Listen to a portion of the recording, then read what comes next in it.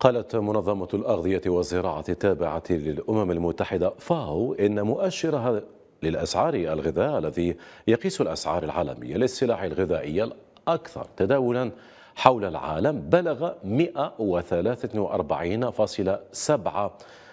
نقطة بزيادة 14.3%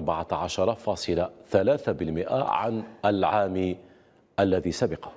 وهو أعلى مستوى له منذ بدء التسجيلات عام 1990 بعدما كان المؤشر قد ارتفع ب 28% سنة 2021 على أساس سنوي مع تعافي الاقتصاد العالمي من تداعيات جائحة كورونا.